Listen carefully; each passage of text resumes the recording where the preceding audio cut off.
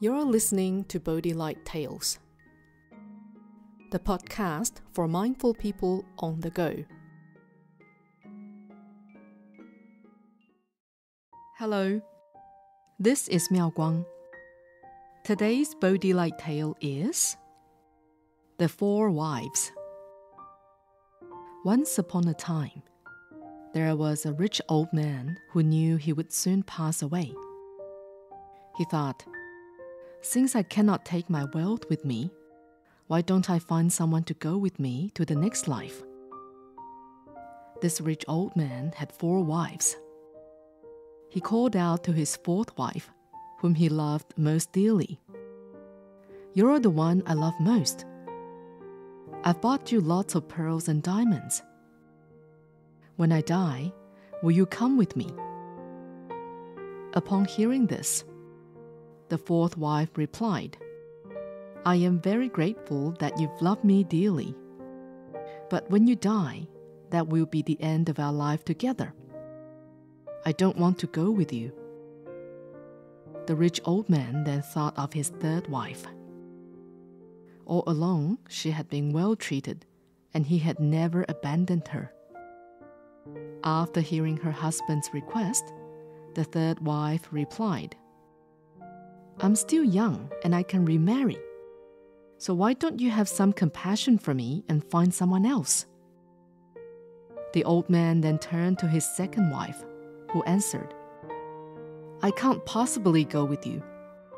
I am taking care of everything in this house. Don't worry, after you die, I'll make sure you have a good funeral. Since you are my husband, I promise to personally take your body to the crematorium. Having been rejected by his three wives, he was left with his first wife, whom he had long neglected, and for whom he had never bought anything. She probably wouldn't say yes, he thought. Still, he was afraid to die alone, and he gathered the courage to ask his first wife, I'm leaving this world soon Will you come with me? Unexpectedly, the first wife said, We are husband and wife. We're meant to be together.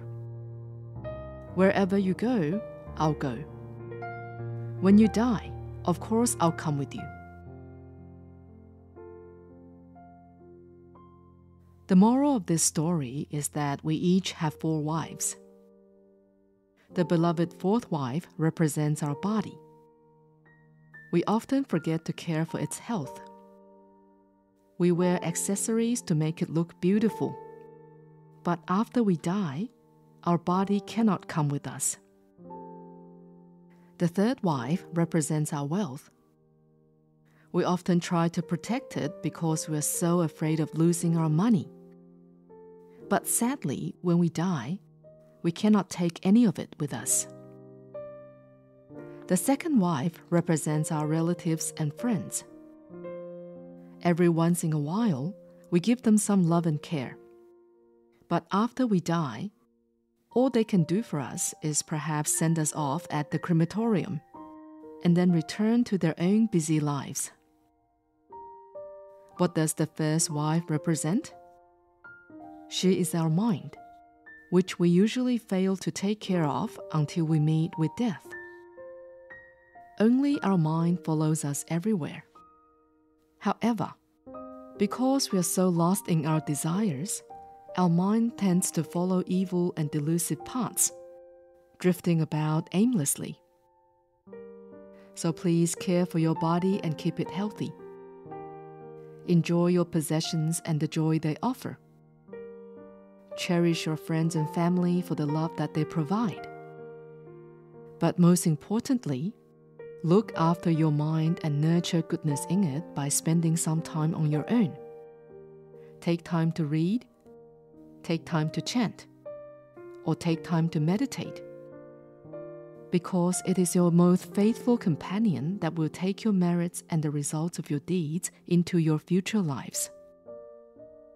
Just as Venerable Master Xing Yun says, the real treasure of energy is not in the mountains or in the oceans but in one's own mind. The real treasure of the Dharma is not in the sutras or in the mouth, but in one's own mind. This is Miao Guang. Thank you for listening to Bodhi Light Tales. Subscribe to Bodhi Light Tales and have stories delivered to you every week. May your day be filled with happiness and wisdom.